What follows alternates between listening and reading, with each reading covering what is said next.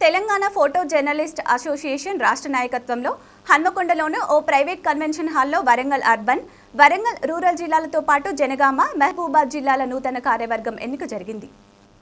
కార్యక్రమానికి ముఖ్య అతిథిగా హాజరైన టీపీజేఏ రాష్ట్ర అధ్యక్షులు జి భాస్కర్ మాట్లాడుతూ రాష్ట్ర స్థాయిలో జిల్లా స్థాయిలోని సమస్యలను రాష్ట్ర ప్రభుత్వ దృష్టికి తీసుకెళ్తూ జిల్లాల కమిటీలను సమన్వయపరుస్తూ సమస్యలకు పరిష్కారం చూపెడుతూ ప్రభుత్వంచే ఆర్థిక సాయం అందించే విధంగా కృషి చేస్తామన్నారు. ఈ కార్యక్రమంలో రాష్ట్ర స్థాయి జిల్లా స్థాయి నాయకులు పాల్గొన్నారు.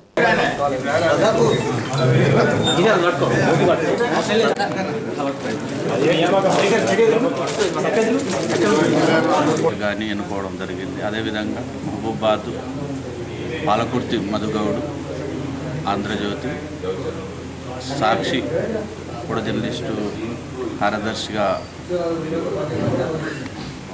శేఖర్.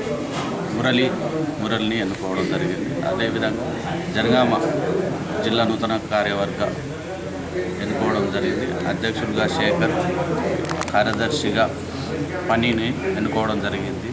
అదేవిధంగా ఈ ఈరోజు అందరి సమక్షంలో ఈ జిల్లా కమిటీని ఎన్నుకోవడం జరిగింది.